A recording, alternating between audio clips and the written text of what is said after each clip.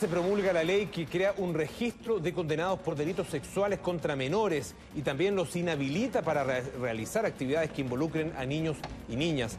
Este registro tendrá acceso limitado y lo podrán consultar los establecimientos públicos y privados que tengan que contratar personal para trabajar con menores de edad.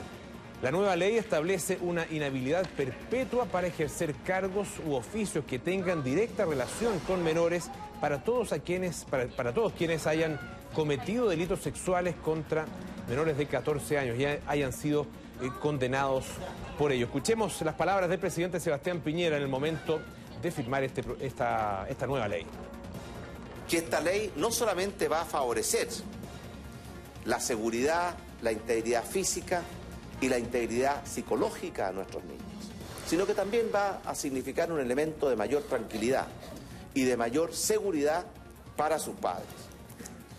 En ámbito de la educación, jardines infantiles, educación preescolar, educación escolar o en cualquier otra actividad que por su naturaleza signifique una relación directa y habitual con nuestros niños.